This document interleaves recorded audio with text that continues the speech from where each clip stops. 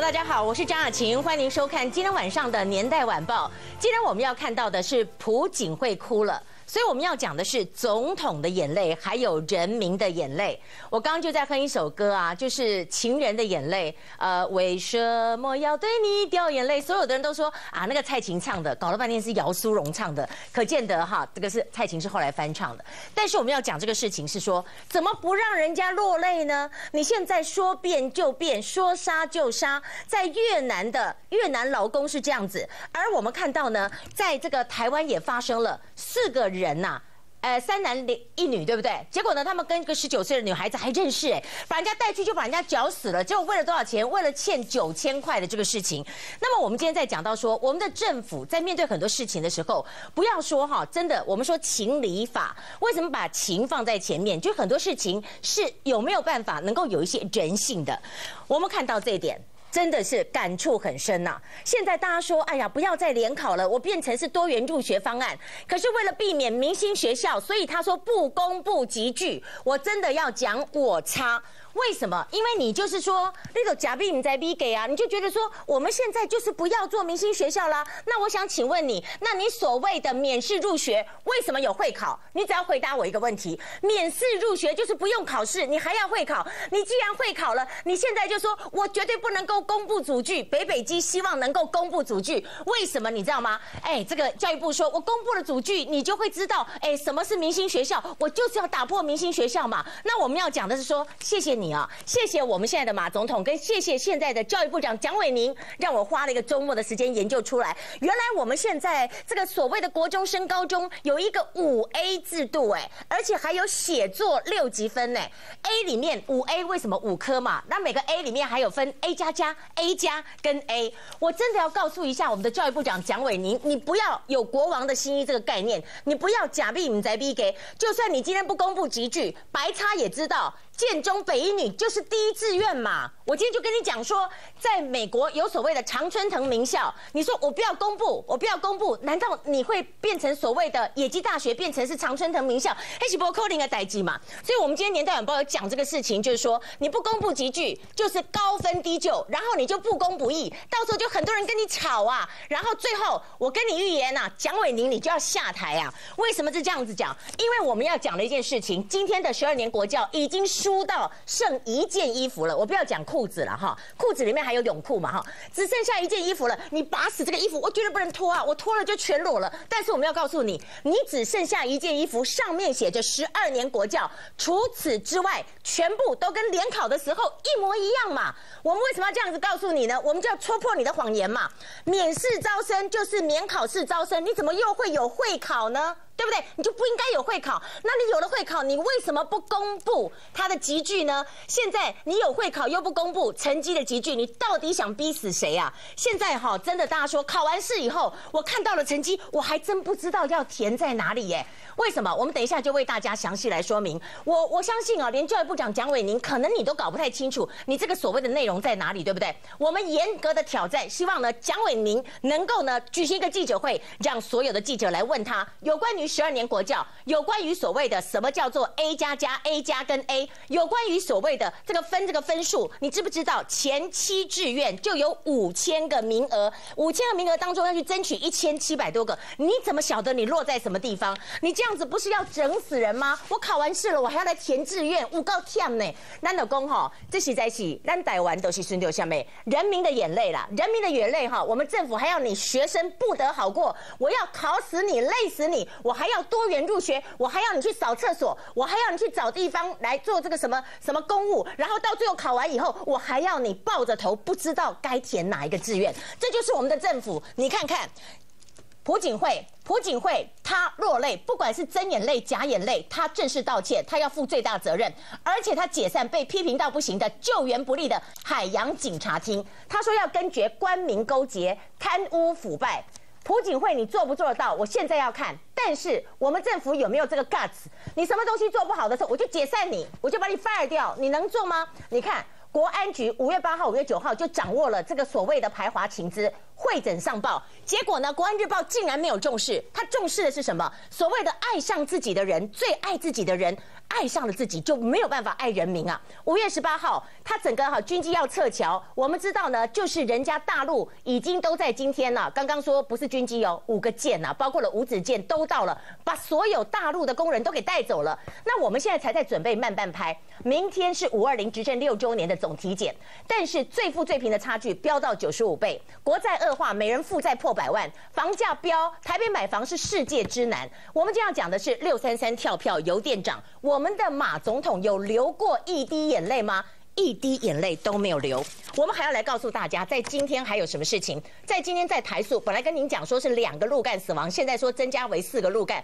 然后我们印的那个所谓贴纸罗生门呐，现在推说是台商要做，台商说是外交部要做。现在说有这个呃越南的劳工啊，把那个贴纸贴在狗的身上，你不觉得这有点夸张吗？那表示说我是台湾人啊，上面就是一只狗，这样子啊那干后这样子不好吧？好，另一方面一个好的消息了，王力宏啊，他太太已经怀孕五个月啊，恭喜恭喜！这是在今天的一个好消息。不过我们来看到，在今天的新闻重点，真的是啊，我们说军哥啊，说干就干，说打就打。现在我们的政府变成说翻脸就翻脸，然后我们遇到的本来是朋友的，每天在他上班的，也是说翻脸就翻脸，说杀就杀。这到底怎么回事啊？今天我们要来告诉您的，在今天就是内阁当中有五个人爆出曾经有香港或美国的永久居留权。哇，我们台湾可真的是国际化，不过他们都已经放弃了。那这有什么美杠呢？另一方面，我们还要来看到的，不仅会愿意流泪道歉。马总统，你不用流泪，你也不用道歉，你能不能够改正？你能不能够拨乱反正？我们今天要严格的来挑战您。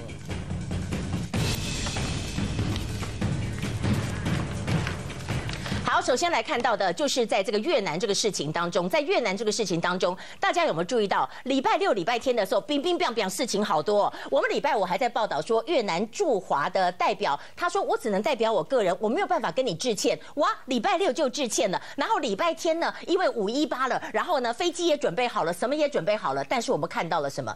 我们看到了，就是难道我们一定要讲一步，政府才会做一步？而且它有 delay，它有内阁啊，内。格啊，就是我讲一步的时候，他还要等等等等啊，才开始做。你可以看到五一八惊魂，五一九今天刚好是越南的国父胡志明的生日，所以呢，大家看到的紧张，以为以为说这事情没事了。大陆方面五个舰撤侨已经来到这里，我们先跟大家看一个这个图。这个呢，我本身没有到过越南，因为自从看到美国从越南撤退以后，我拢会惊，我就跟他戏你知道？我就在想说哈，到底那是个什么共产国家？你可以看看哈，在这里哈，就是整个胡志明。形式的大图，那五月十八号，昨天早上九点钟，反中大游行就关注了。可是雷声大雨点小，这还好了。但我们请摄影大哥看一下这个图哈，这个地方是他们的统一宫，他们在统一宫聚集啊，然后呢还要走走到了这个所谓的中国驻越的领事馆是在这个地方。那我们再往南一点，可以看到这个饭店哈，避难处就是驻胡世明的办事处在这里。还有呢，办事处二这个地方有个 Hotel Nikon Saigon，对不对？Nikon Nikon 这个好像是日系的这个饭店。好，总之呢，在这日航的饭店哦，在这里啊，整个算是相当的这个平静。这里还有一个胡志明市的台湾学校是避难处三。其实我们的看到避难处至少有十个以上。可是我们今天要来看看，我们今天很多哦台商是在这避难。可今天有个大事情，就是在我们现在播新闻的时候，你可以看到大陆的五艘船撤侨已经来到了这里。他们是在呢来到北部河静省，也就是台塑，它河静这个钢厂的这个地方。今天证实有四个人死亡。然后呢，他们今天大概六点钟就抵达这里，就要把相关的人都撤走了。四。千名中方人员、大陆国企员工、乌威博威都赶紧带走了。好，现在的问题就在于说啊，这样子会不会影响到我们的施工呢？今天台塑在十一点的时候呢，也开了记者会。那现在路干没了，路劳没了，是不是全部请越南人进来啊？越南人进来。能不能够相信呢？好，我们来看到这里，这个是在昨天的胡志明市。我们再看到这个是在当时指挥状况，你说公安也好，你说警察也好，但是我们要讲一句话：什么叫做越南总理发简讯要民众自治？才怪嘞！我们要讲说，这根本就是一场戏，只不过。这个戏是演给谁看的呢？好，我们来看一下这个现场，我们就把镜头看到这个最严重的这个台塑的这个地方，在河静省的台塑。我们知道呢，我们现在在播新闻的时候，大陆的船舰已经从这个大陆的中南海这样子过来了，南海过来之后，他就要接人了，人全部都要接回去。我们来看到在现场的报道。大批民众拖着行李准备撤离。越南合金钢厂被拍下，厂区内已经挖了壕沟，防止报名的摩托车入内。谣言满天飞，台塑集团大动作，再开记者会，直接和合金钢厂高层视讯连线。放了一个通知书，要求他们没事都不要外出，以免遭受到不必要的攻击。我们要他们签名，签名代表他看过这个通知书，并不是要他们就怕台商家属干着急，何进钢厂总经理亲上火线，还大阵仗找来何进省副省长、公安厅副厅长挂保证。算算，越南合金钢厂中台籍员工总共九百人，承包商中国冶金集团则是雇佣三千到四千名陆籍员工。十四号排华暴动当天，就是承包商雇佣的越籍员工在厂区追打中国籍劳工惹的祸，设备被砸毁不说，甚至放火烧高炉。有两位这个大陆籍的员工啊，一位是中暑。啊，因为他在库房里面那天四十几度了，中暑过世。由于是被打了，后来过世了，也有放火烧。那现在有发现两个遗体，现在正在确认他们的这个身份。四名陆籍员工无辜丧命，还有上百人受伤。所幸冲突当中没有台籍干部被波及，只是大陆承包商如今三千人被撤回，合金厂部分工程停工，预计厂内第一支高炉明年点火时间得往后延一到两个月。受创最重的台塑集团只能尽力让损失降到。最低，记者做不到。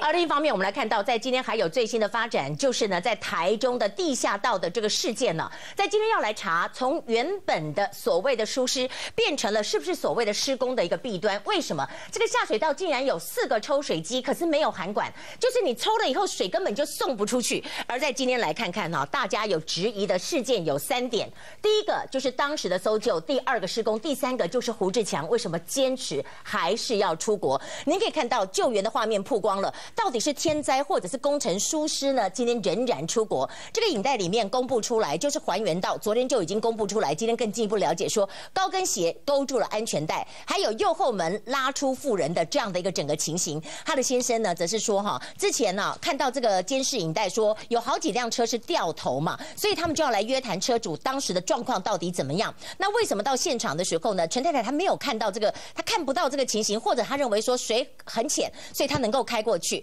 那么我们来看到他先生说哈，妻子托梦地下道安全措施不良，以至于他离开挚爱的家人呐。希望政府单位不要再让憾事发生，到此为止。而且他说做梦里面说他太太都不知道自己怎么会往生了哈。那您可以看到在这里，就是说地下道装了四台抽水机，可是没有装涵管。啊，不是白搭吗？你抽出来的水呢，就抽到马路，然后又回流到地下道，你没有涵管把它排出去嘛？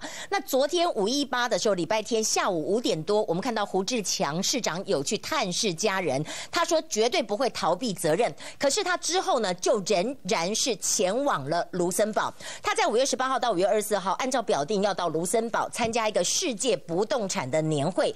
也许这个所谓的房地产不动产的年会非常重要，我们不知道。但是胡志强说。他是行销台中，又不是出去玩，非走不可。但是你知道，今天又下雨，而且我们要告诉观众朋友，这个礼拜都会下雨哦。今天十点的瞬间大雨哦，那么这里面呢又出现了淹水的这个情形，丰原分局的圆环东路地下道积水，所以在这当中，大家就说，哎，这个事情怎么样？那如果说市长不在，副市长是不是要负起责任呢？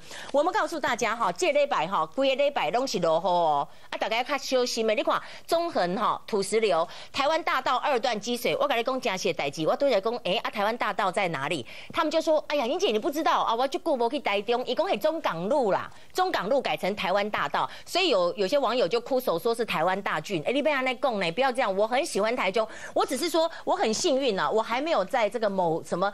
叉叉报的前面遇到什么枪击，或者说我没有在哪里哪里看到这个淹水淹成这样，可是我看了真的非常难过。我们今天能不能够讲一件事情？如果你下水道没雨必淹，你就把它填起来嘛，就把它填起来啊！你为什么要有个下水道，然后造成这个危险呢？你看大甲的这个就是造成地下道的情形。今天设了警示灯，我真的不懂。如果它是不能够 for 我们来使用，三不五时，让我醉，让我淹起来，让我待机，我跟你讲，你就把它填起来嘛。你就把它填起来啊！为什么一定要有这么一个地下道呢？啊，你说不方便，不方便，你政府就要弄一个方便的路啊！我要有一个安全回家的路啊！我总不能开车开到哪里就说各位观众，现在进入到桃园地区，请注意屋顶上都有一个储水箱，因为常停停水嘛哈。然后进入到台中地区，请注意每下雨的时候就会淹水，请大家小心不要淹水了。这个不是非常奇怪的一件事情吗？我们来看看，我们还有多少眼泪要哭？这是陈先生他的这个状况。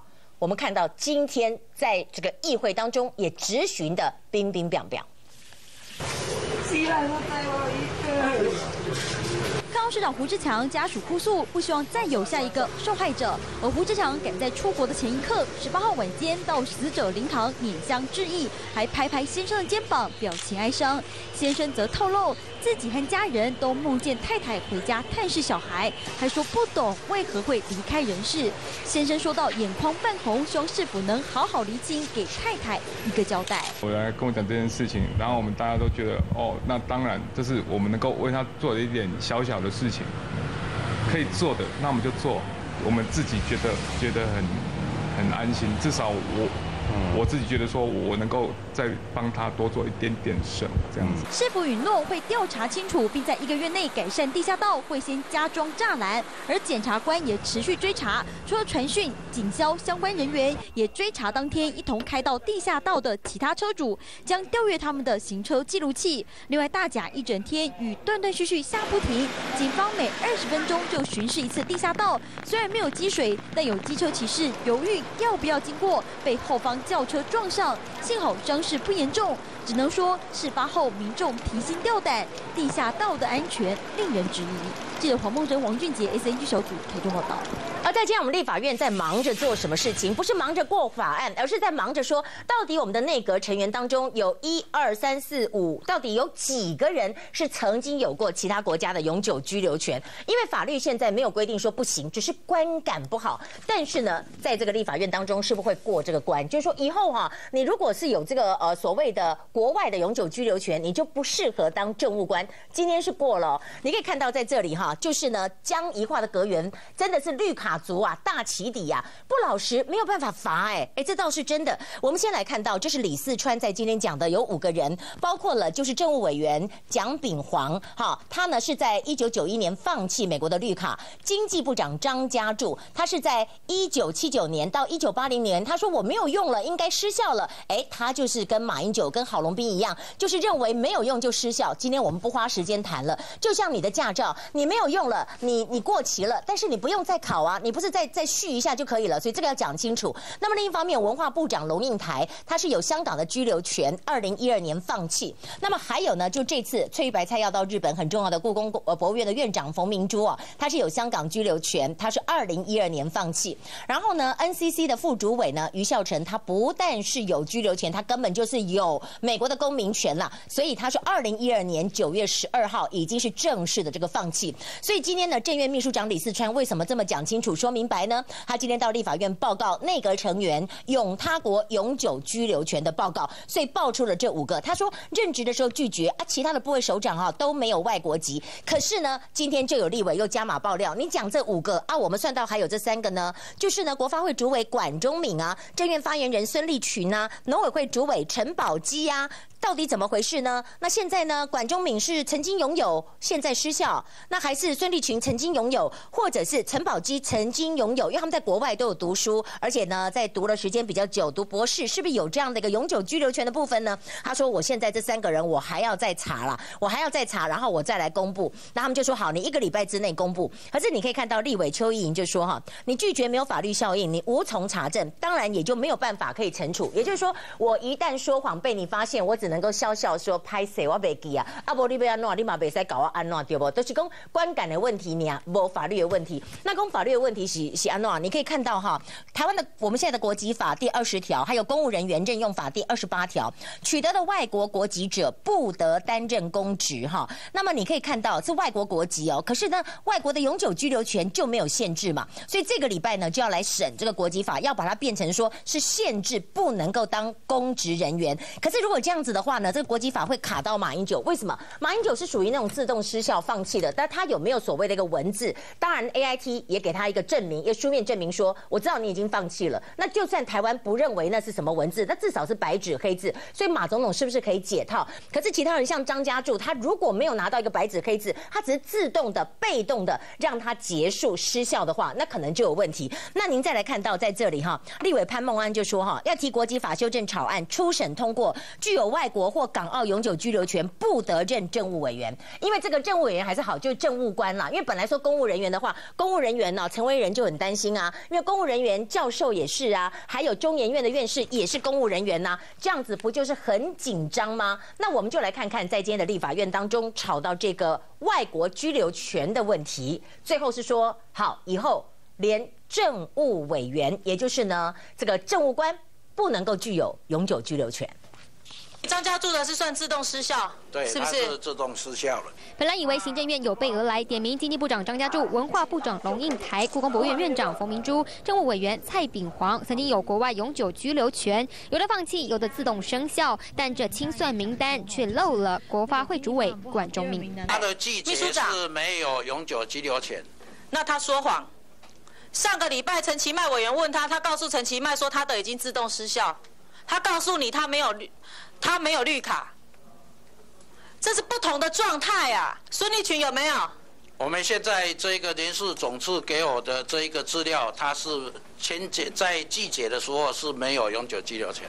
现行国籍法只针对双重国籍不得担任公职，没有规范国外永久居留权有没有失效，阁员自己说了算，即使说谎也拿他没辙。他可以骗你说他的自动失效，他也可以骗你说他根本没有居留权，你没有任何一条法令去要求他。是不是要做诚实的申报啊？我赞成在国籍法二十条里面参考现在对双重国籍的部分，就政务官的部分加以规范。那包不包括总统？这个可以讨论。马总统绿卡争议延烧到政务官身上，立委提议修法，毕竟只凭高道德标准来自律，漏网之鱼恐怕不止管言一人。记者台北综合报道。而事实上，官员除了有没有拥有这个永久居留权或绿卡之外，我们要看看你脑子里面有没有货啊？为什么是这样讲呢？可能在今天的新闻当中打给龙北基啊，我跨年新闻我也是为之咋舌啊。我们的交通部长叶匡时啊，他竟然说呢，哎呀，台湾呐这个东西很廉价，像是一个欧阿米耍哈三十块啦，啊，大家都讲哇，拎刀给讲三十块碟都一家，我说我们怎样？有人说五十块，有人说五十五块，有的是六十块，三十块的真的是非常之少了啦。所以我们就说现在的官员呐，可不要什么事情啊，只剩一张嘴；那也不要什么事情呢，只剩一张贴纸。今天我们来看到，真的有人哦，就是这样子贴在台上，贴在自己的脸上，就说这样的一个问题能够解决问题吗？起码已经变罗生门了。因为呢，外交部说这个是河内的这个越南的台商要的，越南台商说你不要推到我身上，这不干我事啊。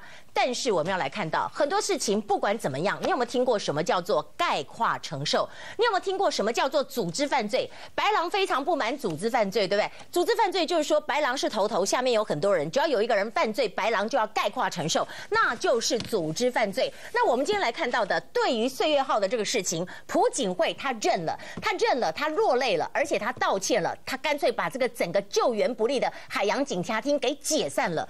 但是我们来看到马总统，马总统对这个事情，大家说，连当时啊，风传媒已经讲了，早就五月八号、五月九号就知道了，你怎么没有重视呢？明天五二零执政六周年的总体检，我们还要看到民调的部分。等一下看看，大家都说哦，这个民调哈，有个最新的民调做出来，好像它有到三十趴的支持度。哎，之前不是说才十七趴，一下跳到三十趴，到底怎么回事呢？我们来看到这个的时候，我们先看看马总统有没有像朴槿惠这样的 guts，认错的 guts。韩国总统朴槿惠流泪了。저는이런분들이야말로 우리 시대의 진정한 영웅이라고 생각합니다 앞으로 희생자들의 넋을 기리고 안전의 중요성을 되새기기 위해 충업일을 건립하고 4월 16일을 국가 안전의 날로 제정할 것을. 好，我们看到的是现场部分，当然他又讲了很多，他念了一些比较正面的事情，说谁牺牲了自己，把救生衣给谁，什么什么什么的，他就讲的不断的落泪。好，我们看到这一点，但是我们看看我们的总统呢，我们的总统今天的内幕当中啊，就是被讲到说哈，这里面呢，大家想到，如果说不能全部都怪到马总统身上，但是整个的运作，整个包括外交部，包括国安单位是有问题的，我们好像在等，在等什么呢？感觉上看到，我们觉得好像在等大陆的态度来看美国的态度。我们今天来看到哈，大陆今天已经非常强硬嘛，军舰都过去，都 stand by 了嘛。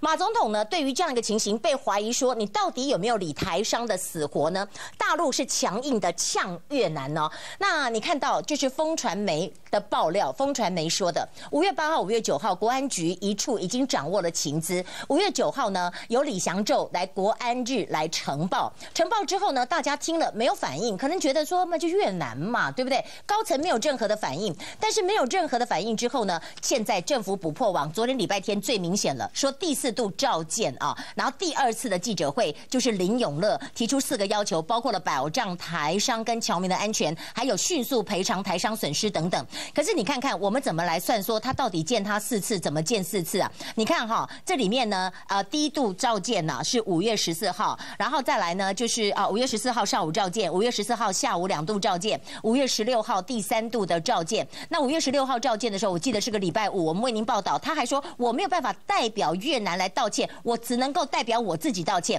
啊。总之到礼拜天就全部都可以道歉了。那我要讲的是，早知如此，何必当初？为什么要让林永热被大家骂翻了以后才可以做到呢？那另外我们还要来看到的就是。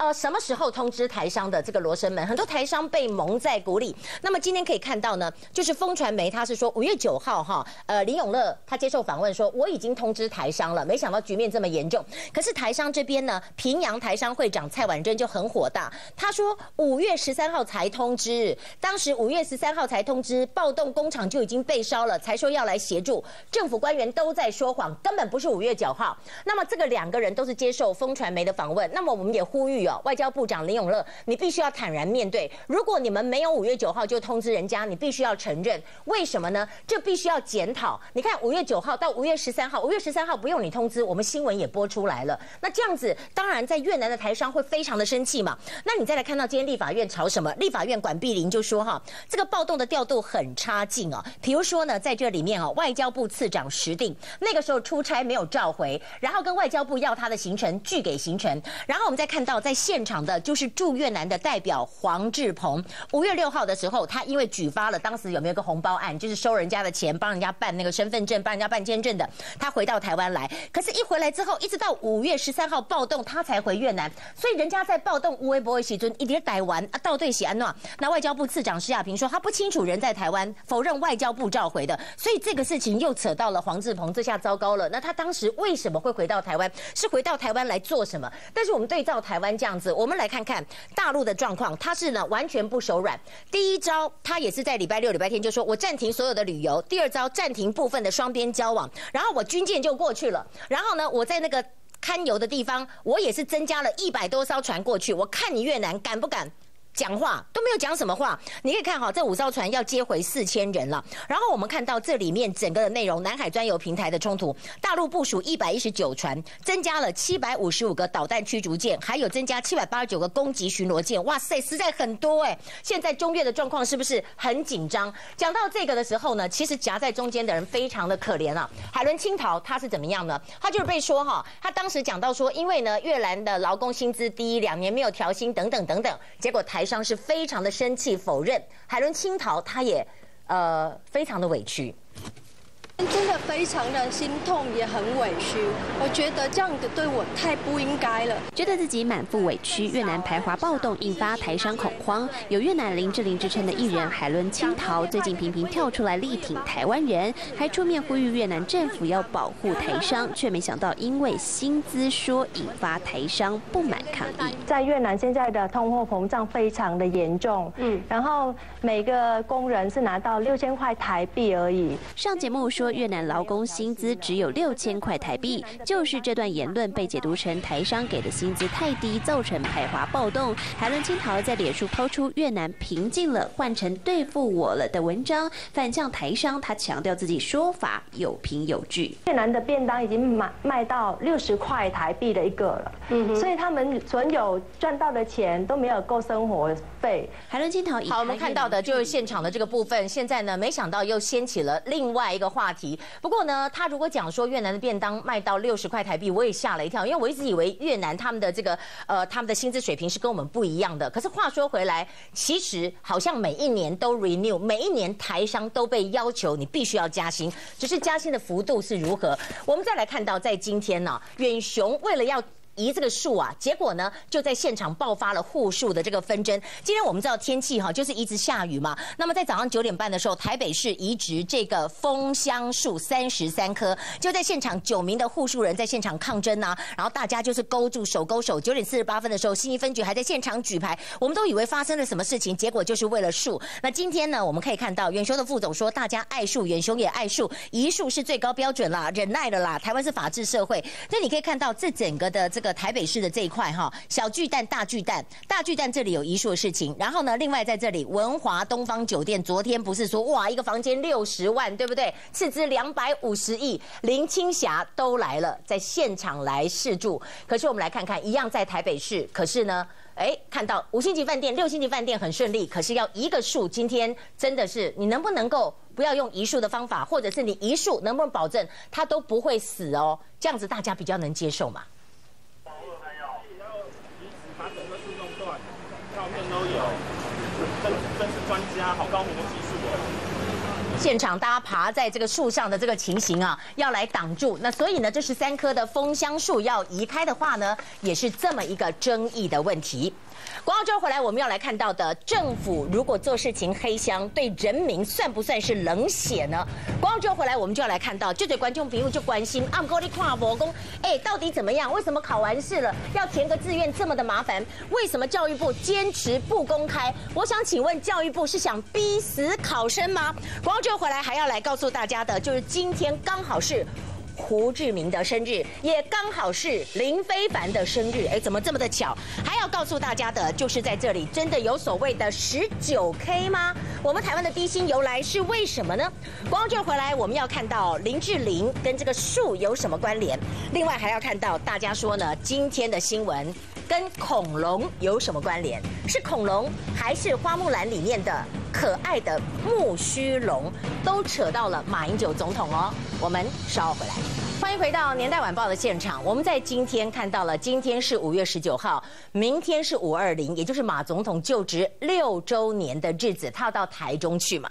可是我今天晚上看到这个晚报哈，我笑了。为什么说我笑了？就是在今天非常重要一个总统府的月会当中，结果呢，他也没有谈越南，他也没有谈到这个任何的灾情，也没有谈到什么的，他就是由陈宝基，我们的农委会主委陈宝基怒说啊，国家被立院卡住了，不公。不义的法案修不动。呃，这句话讲起来是个漂亮话，我们完全同意。但是话说回来，我们真的要呛瞎一下陈宝基。过去像我们讲到农委会，比如说有一些呃这个农粮署的问题、米的问题，有没有混到越南米的问题？你这个米啊一再一再的出包，或者是说呢讲到了猪肉的问题，讲到什么的问题？谢喜朱尼龙博代基，阿里金马公加公不公不义的法案修不动，就是完全都怪到王金平嘛。所以我们今天看到这一点，就是马总统还是缺乏反省啊。他今天就像是我们。讲到的有一种学生是这样子的，在学校里面呢，就是乖乖学生，功课也不错，可是，一出到什么事情的时候，他就说：“老师不是我，不是我是他，是他是他，就是这样子。”所以你今天到了六周年，因为明天就是要交成绩单了嘛。你的怪象，你别再怪老百姓，你的怪公，我跟你讲，我都被做代机，都是立法院不让我做，所以你只能怪立法院。我们报告马总统，你很多事情怪了六年了，你现在还要怪立法院，我们就觉得很奇怪呀。立法院当中国民党是多数，不是吗？怎么还搞成这样子？甚至我再奉送你一句话，大家心里不知道该怎么想，你连我王金平都斗不过，你怎么能去斗习近平呢？你怎么能够弄福茂呢？一个王金平都把你搞成这个样子，你实在是让大家觉得网络上的说法就是呵呵啊。那我们今天来看到还有感触的是什么？人为财死。那台湾我就急干美安呢？上次不是才有网友说，一个入岛的人在巴黎哈流浪客，没有人理他，在台湾马上就有人帮助他。可是我看到这个新闻，我真的觉得我就要跟我女儿说，以后不要给别人接送啊！你可以看看这个女孩子人在高雄啊，跑到北部来啊，买一个卖场当中来实习，结果呢，你看她交了一个朋友，好庄姓主嫌，还有李姓共犯。说为了拒还六七八千块就下手哎，而且当中还有帮他接送哎，平常接送，然后现在人死不能对证，你说哦，我们是男女朋友关系，男女朋友你会伙同了连另外一个女的四个人，然后就把他抓去，然后二话不说把他给勒死，然后呢拿他的钱去领，领了以后呢，里面还骗人家领的户头里只有八千块，然后骗人家还有一两百块都在那边计较，这是怎么回事啊？我们今天还要来讲到的，今天呢真的说这个礼拜都会下雨，我们已经分不清楚什么是泪水。什么是呃这个雨水？我这样讲有点恶心哦，但是已经是人呐，心已至此啊，只能够倒数日子，不知道有时候能不能够啊这个什么呃泪湿啊。装提泪湿红栏杆呐哈，我们来看到在这里哦，大雨连五天呐，但是心中的雨怎么办呢？马总统五二零，我们再忍痛一下，还有两年呢哈。那么封面席台，这个是在这个礼拜五之前都会大雨，跟大家报告一下。中横呢有土石流，丰原地下道哈也封闭了，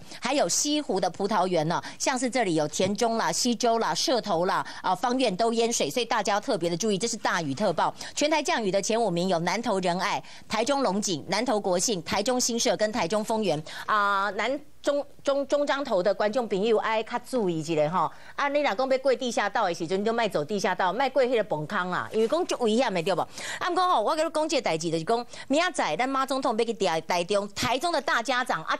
就是非出国不可啦！胡市长干嘛非去不可？他就去了。去了以后呢，马总统呢在现场就面临了没有这个台中市长在接待他的情形。但是他要的挑这个中国医药大学，他要说明自金区，然后他要这个跟年轻人来座谈。可是我们看看他连任两周两周年下来的民调都很差哈。你可以看到呢，其实他应该不是讲呃两呃，应该讲说连任两任了哈。他呢这次是第六周年最新的民调，五月十八号的民调，你可以看到不满意的是六十五点。点五，台湾指标的民调呢，不满意的是七十一哦。但是您可以看到在这里哈，就是讲到了是什么，他的满意度我特别要讲一下。大家说不能只讲不满意度，人家这个满意度三十点五哎。之前的满意度，台湾指标的民调哈是十七点九，所以它三十点五算是表现不错啦哈。但是我们就说一次的这个暴冲也不晓得，还要继续看，因为在之前来讲都是维持在十七趴左右。可是我们要讲到这一点的时候，你还要感触一个，如果现在观众朋友要去大陆的话，我们再补充给你看，大陆现在也是淹水淹得非常的严重哦，像是深圳呐，有至少三个人失踪，受灾有一百二十一万人，撤离有将近三万人。好，我就很好奇，到时候啊，这个习近平先生啊。会不会像当年的这个胡锦涛一样说：“同志们，对不起，我来晚了。”我不晓得，我们总统没有这样子做，我不知道习近平会不会抢先做。但是我们今天年代晚报要报告一下马总统，请马总统不要再乱改教改了，我给你求了，真的不要再乱改教改。我们现在台湾已经出现了非常多的白老鼠了，真的不要了。今年尤其是这一次哈，所谓的我们知道过去说你要免试入学，免试入学，然后有个机测，现在又来了一个说把机测改成会考。今年是第一届嘛，刚刚考完嘛，可是我们大家就说啊，你要我填志愿，你总要知道我的弱点在哪里。他说不行，讲讲了你们就会呃，还有一个迷思，就是会说你们会讲什么什么是明星学校。我说。拜托，大家都知道什么是明星学校，你这样子有意义吗？只是让我们填不下去而已。教育部坚持说，我分区标示不公布啦，我绝对不走回头路啦。恭喜安呢？你知道现在大家填志愿，他绝对不公布，好，绝对不公布，我不公布，我不告诉你 A 加加有多少人，然后 A 加是多少，A 是多少，你自己去猜啊。所以我们要讲说，我们报告一下蒋部长，这个元宵节还没到呢，对不对？你填志愿竟然变成了猜谜大会。这不是蠢，什么是蠢？而且我们要讲，这整个考试弄得真的是蠢不可及啊！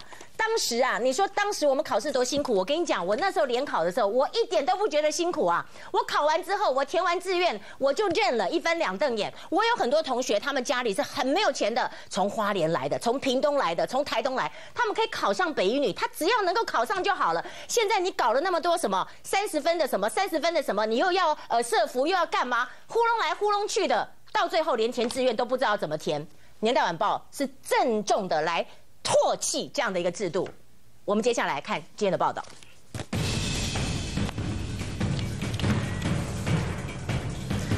好，我们等等下跟大家讲这个 mega 在哪里之前，先告诉您，我们讲的说为什么从小看大，你从这么一个教育的百年大计，你没有想到怎么样来好好教育我们的下一代，你每天就在整，你每天就在整这些小孩子。我不但让你整到你要去补国音数，你还要去补书法，你还要去补音乐，然后你还要排队去做社会福利。那我们要讲到的，就像这个军方好了，现在我们跟大陆之间，我们的这个船是不能够让人家路过。现在交通部不。现在逮鸡干妈公要修法来路过啊，以后是不是就像自由时报说，是不是以后中国船都可以来台湾路过啊？我们来看一下，交通部修正两岸海运直航许可办法，也就是呢，你在二十四小时前填航道的预预预排表哈，中国的船舶就可以航经台湾限制跟禁止水域。那这个民进党就说：“我的天呐，船舶两个字啊，你你船舶是不是 include 的战船呢？你可以看到蔡黄郎就说，中国船舰可以进出台湾周边的海域，根本就是引狼入室嘛。好，今天国防部就说：啊，不会不会，我们不会让他的战舰进来。那我想问你，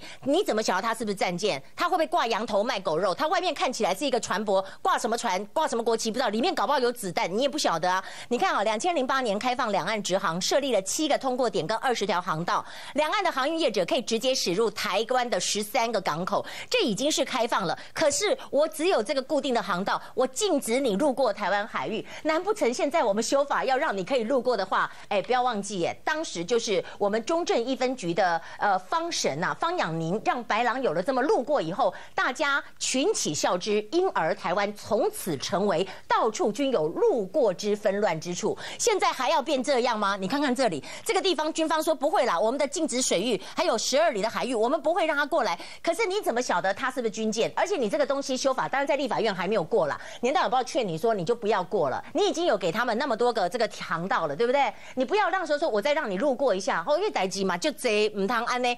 你可以看到哈，今天还有个大事，大家可能没有注意到，汉光三十号的兵推，我注意到了，因为他就是要模拟呀大陆的航空母舰辽宁号发动对台作战。你不是很讽刺吗？一边在模拟这个，另一方面说我可以让你路过。哎，还有过去是决战境外，现在变决战境内，结果呢？我们的这个国防部副部长夏立言说，这一次的兵推是由国安局主导。我当场就说妈妈的嘞，不是不是不是脏话，就说我的妈呀，怎么会这样子？怎么会国安局呢？哦，后来他马上就向媒体澄清说，我口误啦，是国防部主导。这么重大的事情，国安局跟国防部只有一个字重复，哎，他能够讲错，我真的觉得很难想象，哎。今天我们再来讲到这个，今天再来讲到这个，就是月老哈，我们的政策刚刚讲到说。从这个军方再来看到月老全面冻结只是标题呀，你看看下面说，我目前还没到这个阶段呐。他就是说，人家就看准了你不会冻结。我不是说一定要冻结，而是说你有没有做好准备。好，现在就进到我们要讲的这个东西了。这个东西关系到很多小朋友的这个部分了。观众朋友，你可以看到我这个考完以后到底是怎么样？你可以看哈，这个六月二号他要公布所这个所谓的这个会考哈，就是说我本来是免试入学，但是我。其中有一部分是要用会考的这个成绩超级比一比，你看哈，它分成。一共是三个等份，什么等份呢？有精熟，有基础，有待加强。然后精熟就是 A 嘛，基础就是 B 嘛，待加强就是 C 嘛。那这次考试一共有五科，所以它就是所谓的五 A 就是这样来的。可是 A 里面它还有分 A 加加、A 加跟 A，大概占百分之二十，基础大概占百分之六十，待加强的人占百分之二十，它是这样估的。可是你的成绩组合非常复杂，根据了解有八十四种组合。谢谢你让我们这么的复杂。你看哈，这里面比如说你有五 A 有五科，对不对？你可能。五 A 或者四 A 一 B 或者三 A 二 B 二十一种，再加上你作文满级分是六分，你还要加上作文。我的天老爷啊！这个算完之后呢，所以民众很生气是什么？第一个，我们今天真的访问了一些民众来看，他说：第一个，你只分 A、B、C 太粗糙了嘛？我考二十一分，考七十九分，竟然同属于 B 级，哎，那我怎么知道我是 B 的头尾哪里？我不知道啊。第二个，如果你不公布分区的集聚跟累积人数比，我怎么知道落点？我怎么填志愿？你不是要我填志愿吗？他说好，六月五号确定公布各科成绩的人数比，哈，比如说呢，国文三点八万占。十四趴，你告诉我说国文在几分以上占十四趴，那难道我要算说我是这个十四趴当中的第几个？这个连我那个数学我是 GRE 数学满分八百分的人，我都不会算，我都不知道这是怎么算。然后呢，还有就八十四种组合人数比，那 八八十四种组合人数比，而且你公布的是全国啊，有人就讲啊，我们有观众啊的姐姐，那小茹的姐姐是在桃园呐，他说你不能只公布全国啊，因为每次哈你说什么客服啊这种公益的分数，呃，在北台北是占三十分，在桃园是占四十分呢，啊，我怎么晓得我的分数是怎样？所以你可以看看现在要公布的是什么，来来跨级的家，基北九十分呐，总满分九十分，三十分是会考的成绩，三十分多元学习，三十分是均衡发展。他说我现在就公布这个啦，我应该就公布会考成绩跟多元学习，均衡发展的话呢，我也我也不知道你们到底要怎么填，是这样吗？但是我们要讲说。你把小孩当白老鼠，多元学习根本是假的。多数学校怕学生出去比不上，他在学校里面这个三十分都把它填满了。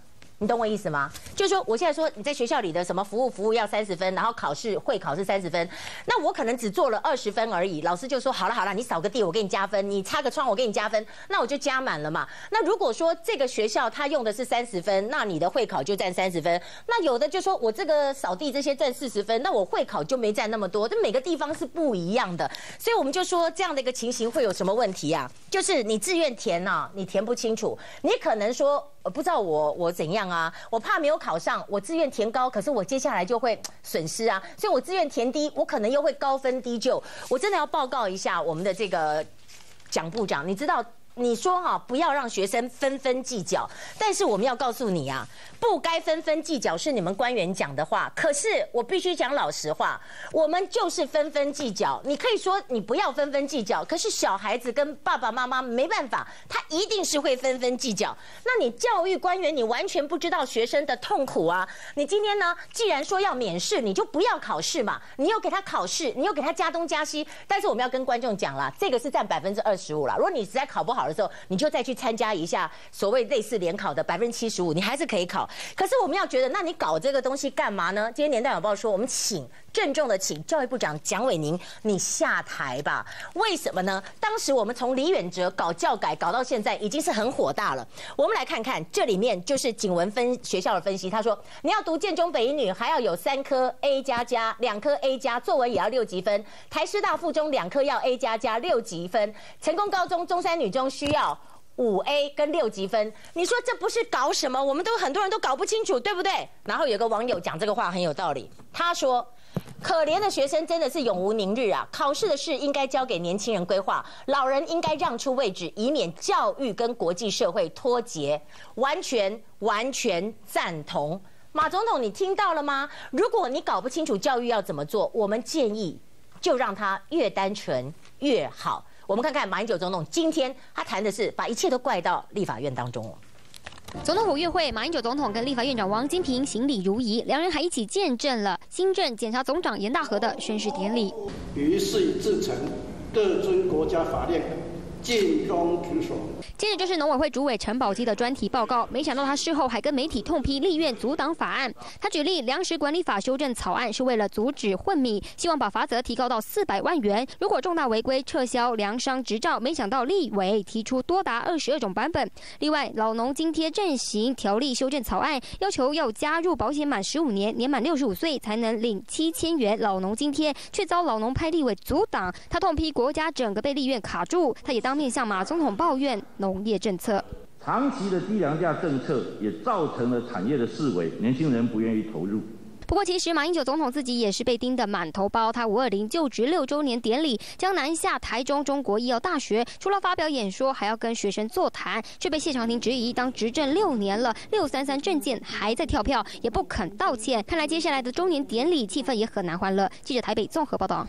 好，我们再来看到，在这样的一个问题之下，所以我们在台湾遇到了菲律宾，我们在台湾遇到了越南，就会出现很多荒腔走板的走向。为什么呢？因为我们搞不清楚现实的状况。你可以看到哈，在现在整个的部分，昨天五一八是 safe，可是呢，五一九今天是胡志明的生日。那么大陆方面今天五个军舰去了，把人四千人都给撤走了。那撤走之后呢，台湾现在怎么讲？台湾现在呢，行政院发言人说，派遣军机是选项之一啊，派民航局是最快。可是你可以看到，我们就在左营军港做这么一个准备的动作，这只是一个动作，它到底是不是一个假动作还是问题？那么我们就来讲说胡志明，胡志明啊，他可以说是一个非常瘦小的人呐，他为什么成为越南的国父？你知道他当时哈，他的这个做法，当时在这个呃麦克阿瑟将军在二战之后，他是请我们当时的蒋介石哈接管两个地方，一个是台湾，一个就是越南。可是呢，胡志明当时他觉得说，为什么他就想说，好像联合好说让法国把这个蒋介石的军队赶出去，即使他成为法国的一个省都没有关系。然后呢，他又去找了美国说把法国赶出去，你说他是不是很厉害？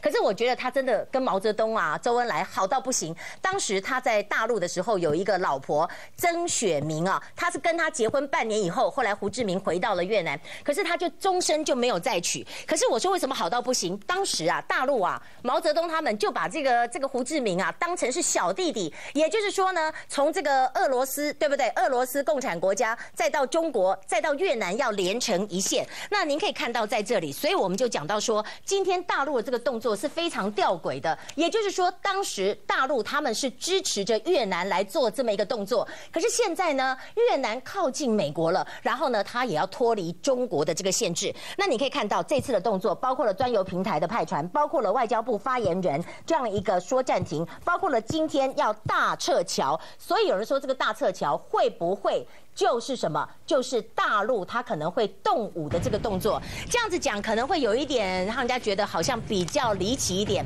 不过呢，有没有可能呢？广告就回来，我们还要告诉大家的，就是在龙应台的部分，他说我志不在当部长。啊，你志不在当部长啊，你为什么现在是部长呢？我们稍后回来，回到年代晚报的现场，我们来看到今天龙应台啊，在备询的时候呢，民进党立委陈廷飞说：“你两年的文化部有什么成就呢？”结果呢，龙应台说：“那你自己回家看功课吧，分数永远是别人打的。当部长不是我的人生志愿啊，我今年预算比其他部分成长百分之三十一，就是支持。可是他闹出了一个阴谋论是什么？原来五月十五号的时候，台师大有个民调哈，就是说呢，龙应台啊，他的个人知名度啊并不高，而且百百分之。七十八的人不认识他，而且不满意的占了百分之三十六。据说这个报纸竟然第二天都没有见报，没有见报以后呢，五月十六号，联合报等三个媒体就访问他，然后龙应台坐在这里，他说哈，他曾经有小六呃赤脚上学哈，等于是灵魂大解放。结果呢，在这里面呢，台师大的教授夏学礼就批他，称自己一双赤脚面对世人，从心里禁不住演出一阵恶心啊。早有人示警，龙应台会烂花公堂。强压新闻，也就是说，他觉得他们的民调没有被公布，可能是被压了下来。好，广告之后回来，我们还要来看看，那这事情跟林青霞又有什么关系呢？我们稍后回来。